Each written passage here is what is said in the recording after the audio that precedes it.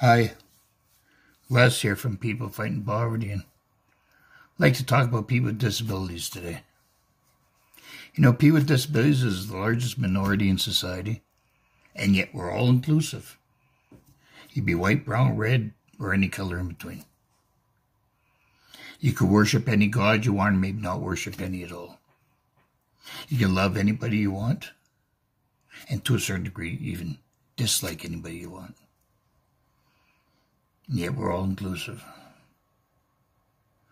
As a matter of fact, you can join tomorrow. Or even today, for that matter. All you have to do is go out there and slip on some ice or fall down some stairs, be in a car accident, have some bad surgery, even be born with, a, with a, an impairment. So we are the largest minority in society, all inclusive. We see talk, governments talk about inclusion all the time. Program for this, program for that.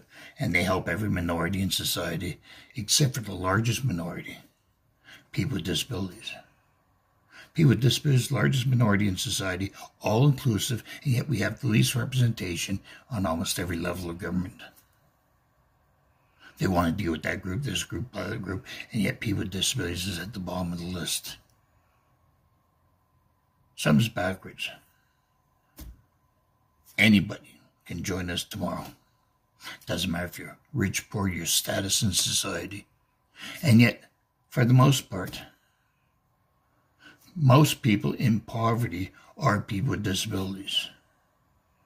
And yet we have the least representation in government. The largest minority in society has least representation in government.